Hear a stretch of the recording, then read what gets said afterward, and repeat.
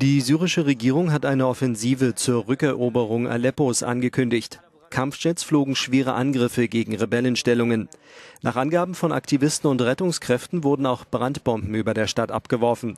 Die internationalen Bemühungen um eine Rückkehr zum ausgehandelten Waffenstillstand sind derweil gescheitert. Der russische Außenminister Lavrov sagte nach einem Treffen von 20 Außenministern in New York, man arbeite weiter daran, den Waffenstillstand wiederherzustellen. Einige Kollegen hätten einseitige Schritte von der syrischen Regierung gefordert. Russland und andere verlangten hingegen, dass auch die Opposition ihren Teil beitrage. Die Gespräche sollen heute fortgesetzt werden. Alle Hoffnungen ruhen nun auf dem Freitag und den kommenden Tagen. US-Außenminister John Kerry erklärte unterdessen,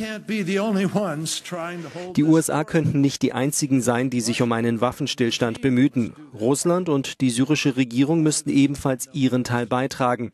Die Frage sei, ob man noch eine echte Chance auf Erfolg habe. Es sei klar, so wie bisher könne man nicht weitermachen. Eine entscheidende Frage bei den Gesprächen ist, ob sich Russland auf den amerikanischen Vorschlag einlässt, mehrere Tage auf den Einsatz von Militärjets zu verzichten. Russland lehnt dies bislang ab. Lavrov kündigte jedoch an, diesbezüglich mit Moskau Rücksprache zu halten.